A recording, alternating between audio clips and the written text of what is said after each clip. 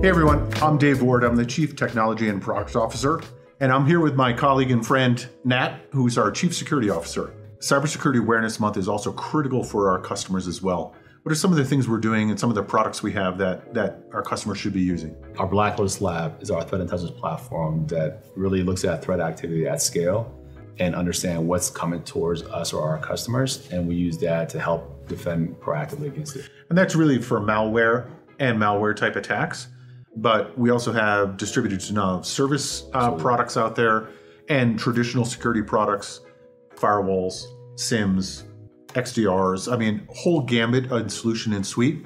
Um, what becomes really interesting also is that the Black Lotus Labs team also has a research analyst for HireArm where enterprises can work with us to ask specific questions about their security vulnerabilities or even attacks. Absolutely. You know, our, our, we're building out our analytics as a service offering that really helps the companies we support understand how to ingest our Black Lotus Lab telemetry, but also support them specific to their domain, their IP ranges, and their threat vector space that they're concerned about.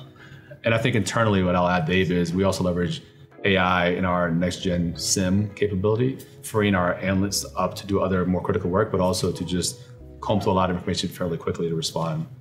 And we also participated in a number of industry and national bodies, and you do personally.